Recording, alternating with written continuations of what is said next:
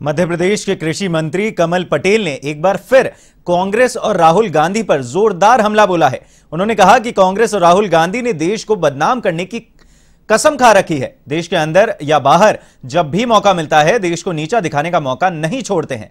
सरकार जब जेएनयू में देशद्रोही नारे लगाने वालों पर, आतंकवादी और नक्सलियों पर कार्रवाई करती है तो कांग्रेस और राहुल गांधी उन्हें सपोर्ट करते हैं। कमल पटेल ने कहा कि देश के बाहर जाकर राहुल गांधी देश की जनता को उकसाते हुए कहते हैं कि बीजेपी ने कैरोसिन छिड़क दिया है, आपको सिर्फ़ एक तिल्ली लगाना है। भारतीय होकर भारत में ही आग लगाने के लिए लोगों को भड़काने पर कांग्रेस को जवाब देना चाहिए।